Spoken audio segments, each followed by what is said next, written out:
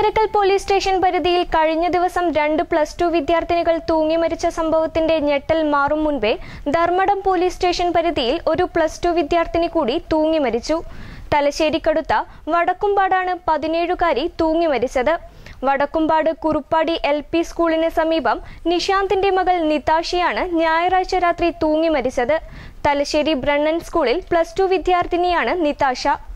രാത്രി പതിവ് പോലെ ഉറങ്ങാൻ കിടന്ന നിതാഷയെ പുലർച്ചെയാണ് മുറിക്കകത്ത് തൂങ്ങിയ നിലയിൽ കണ്ടത്. ഉടൻ തന്നെ ബന്ധുക്കൾ ആശുപത്രിയിലെത്തിച്ചെങ്കിലും ജീവൻ രക്ഷിക്കാനായില്ല. നിതാഷയ്ക്ക് എട്ടാം ക്ലാസ് വിദ്യാർത്ഥിയായ ഒരു അനുജനുണ്ട് അമ്മ അനിഷ. കഴിഞ്ഞ ശനിയാഴ്ചയാണ് ചക്കരക്കല്ലിൽ രണ്ടു പ്ലസ് ടു വിദ്യാർത്ഥിനികളെ തൂങ്ങി മരിച്ച നിലയിൽ കണ്ടെത്തിയിരുന്നത്.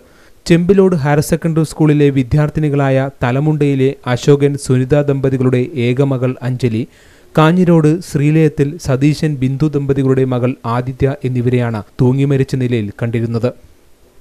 തലശ്ശേരി പോലീസ് സ്റ്റേഷൻ പരിധിയിൽ Thiruvangad girls higher secondary school plus one വിദ്യാർത്ഥിനി തിരുവങ്ങാട് ശ്രീരാമസ്വാമി ക്ഷേത്രത്തിന് സമീപത്തെ മീനാക്ഷിയെയും രണ്ടാഴ്ച മുൻപ് വീട്ടിനകത്ത് തൂങ്ങിമരിച്ച നിലയിൽ കണ്ടെത്തിയിരുന്നു. ഹയർ സെക്കൻഡറി വിദ്യാർത്ഥിനികളുടെ ആത്മഹത്യക്ക് കാരണം തേടി പോലീസിന്റെ അന്വേഷണം നടക്കുന്നതിനിടയിലാണ് വീണ്ടും ഒരു ആത്മഹത്യ കൂടി നടന്നത്. Seal news Kannur